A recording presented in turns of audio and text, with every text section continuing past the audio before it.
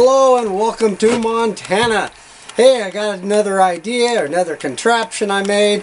I'm calling it the Spinning Bucket Classifier.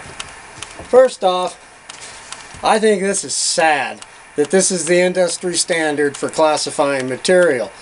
Um, these little screens, sit there and shake your bucket. I hate these things, I hate classifying material.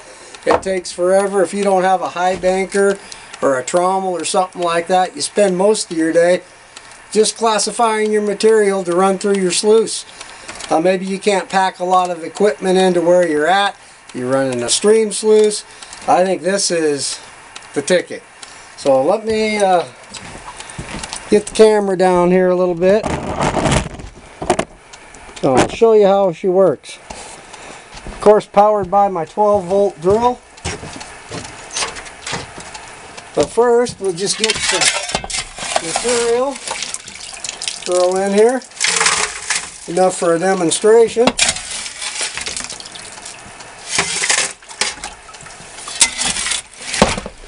I need a little more water.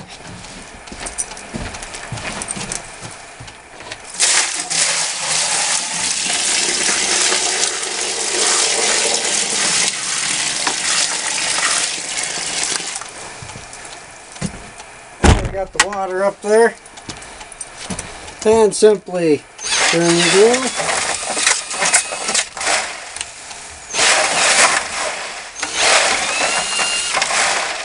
And you're classified. That's all there is to it. Let me bring the bucket over here with the camera so you can see.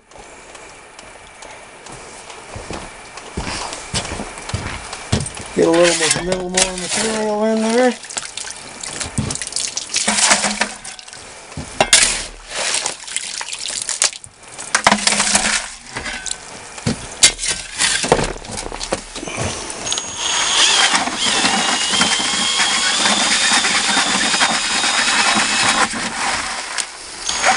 Reverse it. And that's it. The material is classified. Let me back this camera up a bit. When you're all done, or you need to empty your top bucket here,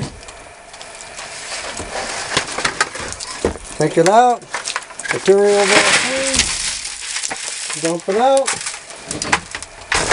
Put this back in.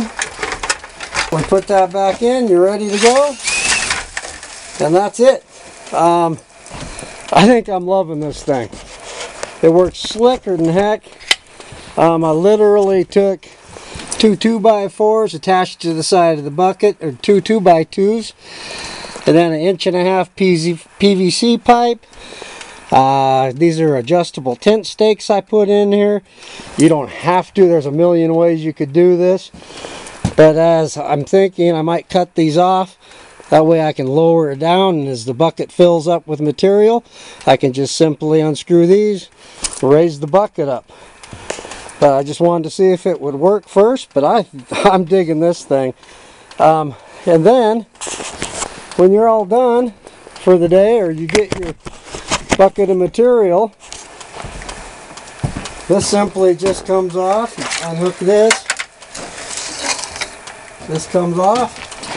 Set it to the side. Lift your bucket out.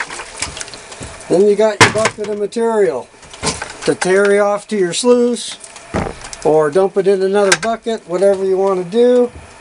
When you're all done for the day, simply two tent stakes, throw them in the bucket, undo your drill,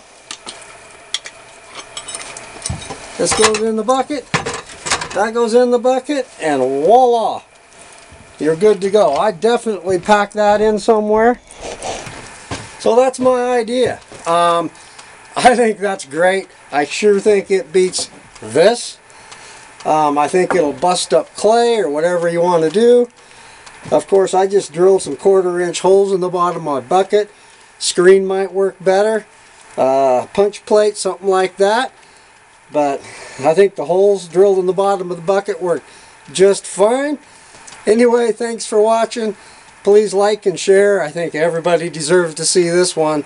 Um, don't forget to subscribe. I make all kinds of contraptions. Thanks for watching, and we will catch you next time. Bye now.